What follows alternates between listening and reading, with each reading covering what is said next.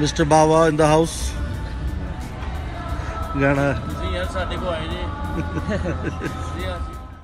Punjabi 뮤직 industry ਦੇ ਉਹ 뮤직 director ਜਿਹੜੇ ਅਕਸਰ ਕਹਿੰਦੇ ਨੇ ਆ ਗਿਆ ਨਹੀਂ ਉਹੀ ਬੁੱਲੋ ਟਾਈਮ ਜੀ ਹਾਂ ਮੈਂ ਗੱਲ ਕਰ ਰਿਹਾ ਦੀਪ ਜੰਡੂ ਦੀ ਦੀਪ ਜੰਡੂ ਦੇ ਕਰਨ ਔਜਲਾ ਇਸ ਵੇਲੇ ਆਏ ਹੋਏ ਨੇ ਇੰਡੀਆ ਟੂਰ ਤੇ ਤੇ ਇਸ ਇੰਡੀਆ ਟੂਰ ਦੇ ਦੌਰਾਨ ਜਿੱਥੇ ਇੱਕ ਪਾਸੇ ਵੱਖ-ਵੱਖ ਸ਼ੋਜ਼ ਲਗਾ ਰਹੇ ਨੇ ਉੱਥੇ ਹੀ ਦੂਜੇ ਪਾਸੇ ਇਹਨਾਂ ਦੀ ਮੁਲਾਕਾਤ ਹੋਈ ਹੈ ਸਿੰਗਰ ਰਣਜੀਤ ਬਾਵਾ ਦੇ ਨਾਲ ਜਿਸ ਦੀ ਵੀਡੀਓ ਦੀਪ ਜੰਡੂ ਨੇ ਆਪਣੇ ਸਨੈਪਚੈਟ ਤੇ ਪੋਸਟ ਕੀਤੀ ਹੈ ਇਸ ਵੀਡੀਓ ਨੂੰ ਦੇਖ ਕੇ ਤਾਂ ਇਹੀ ਲੱਗਦਾ ਹੈ ਕਿ ਇਹ ਤਿੰਨੋਂ ਕੋਲੈਬੋਰੇਟ ਕਰਕੇ ਆਪਣੇ ਫੈਨਸ ਦੇ ਲਈ ਕੁਝ ਨਵਾਂ ਲਿਆਉਣ ਦੀ ਕੋਸ਼ਿਸ਼ ਕਰਨਗੇ ਆਓ ਨਜ਼ਰ ਮਾਰੀਏ ਇਹਨਾਂ ਤਿੰਨਾਂ ਦੀ ਮੁਲਾਕਾਤ ਦੀ ਉਸ ਵੀਡੀਓ ਦੇ ਉੱਤੇ mister Bawa in the house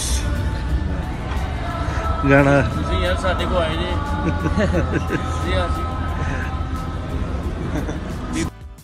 ਚਲ।